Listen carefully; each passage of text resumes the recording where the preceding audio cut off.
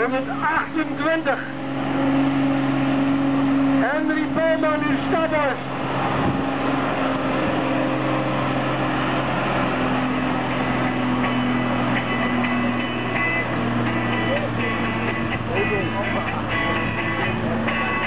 Ze doen het gediend, net hier.